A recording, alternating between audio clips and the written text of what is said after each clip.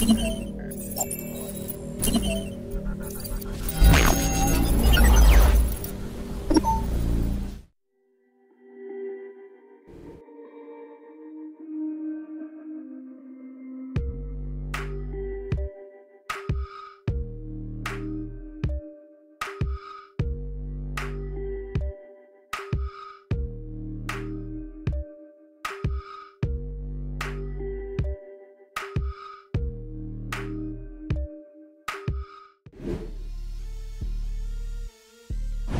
Astrid is a legendary hero, holy element, sorcerer class, and comes from the Bard family, where heroes from this family will get a buff on mana generation for each hero from a different family used. Astrid also has Aether power, namely defense up, where she gets plus 20% defense for 6 turns.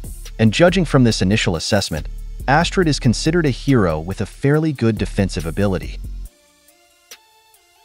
And judging from her basic stats, Astrid has high base stats, especially her defense and vitality stats. And Astrid also has two passive skills, namely all dance ailments and buffs cast by enemies only last for one turn.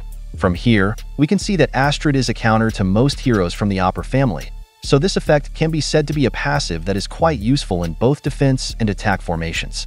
And combined with her average mana generation, Astrid will be good enough to be used in defense and attack team formations.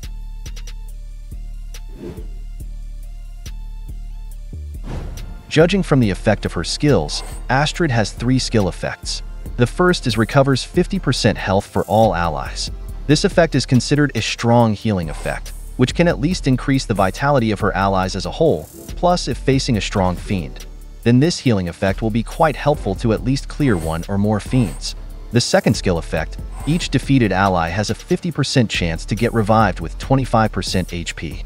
This skill effect is considered a revival, which will make Astrid quite popular to be used in defensive formations, because in addition to her high revive chance, this effect can be cast faster than several other revivers, such as Alberich, Mother North, and Xandria. And the third skill effect, all allies have a 20% chance to drop any received damage to 1 for 3 turns. This skill effect is quite good as an overall defense buff for allies. Although the chance level of the effect is not as good as Black Knight, the effect of this skill covers all allies, and gives them at least the possibility of being able to reduce damage from tile damage or special skills. Judging from the overall effect of Astrid's skills and combined with her mana speed generation, Astrid will be good enough to fill the flank and tank positions in defense and attack formations. As for the Titan attack team, Astrid is not really recommended because she does not have the required skills. And for the raid tournament, Astrid is not so good to use in Bloody Battle because of the tournament rules and she will be very good to use in Rush Attack and Buff Booster. These are some of the things that make Astrid get an A score.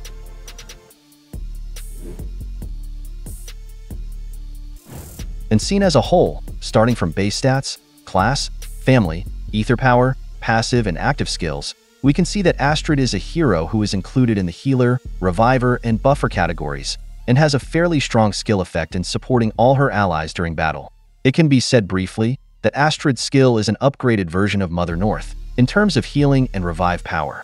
And even though she doesn't have a defense buff skill as good as Black Knight, the scope of her skill effect is enough to help her allies to at least have a chance to reduce the damage received.